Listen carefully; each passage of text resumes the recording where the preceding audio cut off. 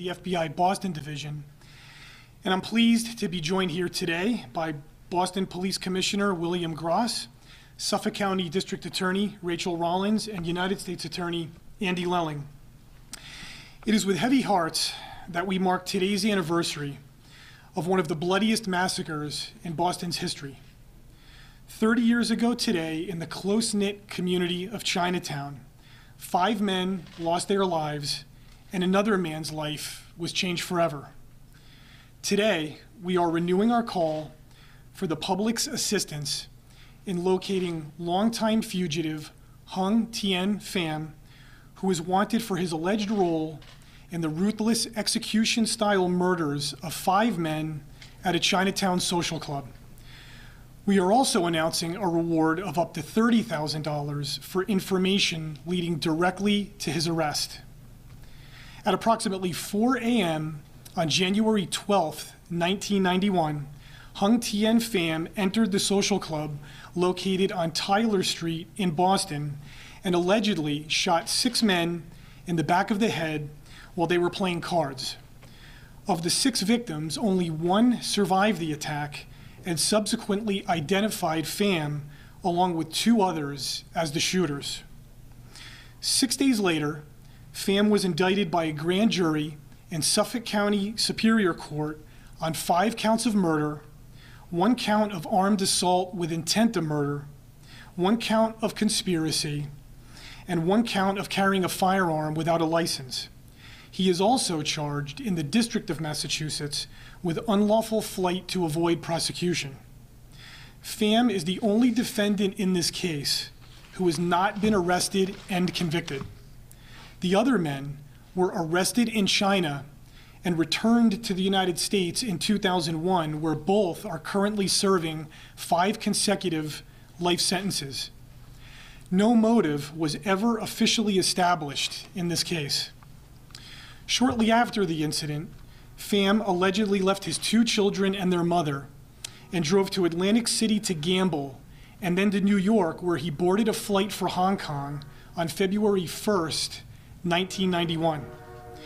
In addition to this quintuple homicide, Pham is also wanted by the Boston Police Department for another murder that occurred four days before the massacre on January 8, 1991. Investigators determined in the 1980s through the early 1990s, Pham was an associate of Asian organized crime, specifically the Ping On crime syndicate, which operated in Boston, Philadelphia, Chicago, and Toronto. His last known location was Bangkok, Thailand, in the mid to late 1990s. Pham was born in Mon North Vietnam, and still has family there. He also has family in the San Francisco Bay Area of California, Toronto, Canada, and South Korea. Pham is a Vietnamese national of Chinese descent and is fluent in Vietnamese, Chinese, and English. He would now be 60 years old. At the time of the murders, he had black hair and brown eyes and weighed approximately 115 to 135 pounds. He stands about 5 feet 3 inches tall and resided on Clayton Street in Dorchester. He has a variety of aliases and has held a variety of jobs, including but not limited to cook, waiter, bicycle repairman, and floor sander. Pham was also known to be a big spender who liked flashy cars and cognac. We are asking the public to review Pham's wanted poster, which includes newly released photos along with an age progressed photo of what he may look like now. We are also launching an international publicity campaign, including but not limited to a dedicated web page on FBI.gov, social media outreach on Twitter, Facebook, and YouTube, and targeted publicity in the cities to which Pham has been tied. The public can play an active role in helping us find Pham by sharing links to his wanted poster and official social media content. The FBI has a broad reach and an even longer memory when it comes to finding fugitives. We know this crime has haunted the Chinatown community for decades, and we hope this renewed effort will produce real results that might give the victims' families who have already suffered so much heartache some much needed closure. To this day, their losses continue to cause great sorrow, and we urge anyone with information about Pham's whereabouts to come forward.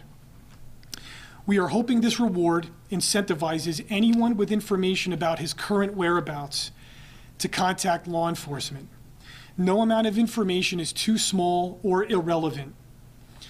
Even if you don't know where Pham is now, we would be interested in hearing from you if you know where he has been.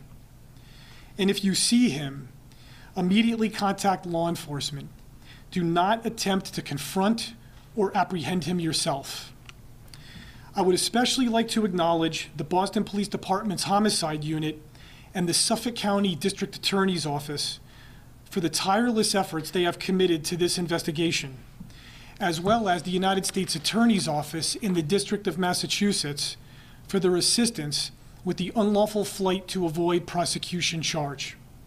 As evidenced by our collective efforts on this case to this day, we will never forget and we will not rest until Hung Tien Pham is located, arrested, and brought to justice. Now, I will turn it over to Boston Police Commissioner William Gross to say a few words.